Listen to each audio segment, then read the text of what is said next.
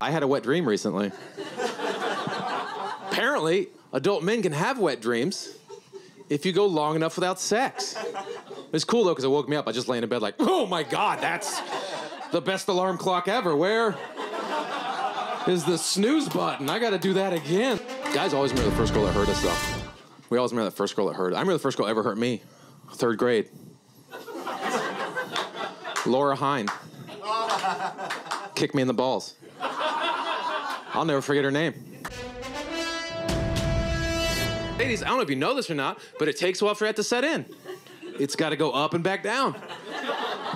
There's some lag time involved. So she kicked me and it stunned me. It's like, why would you kick me there? Did you see that? You should have.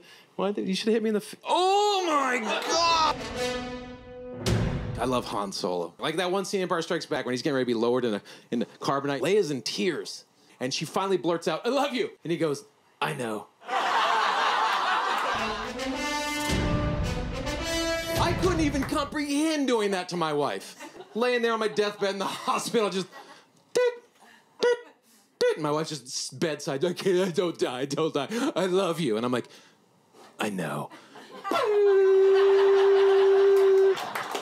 My wife would grab the defibrillator and go, Oh no, you don't.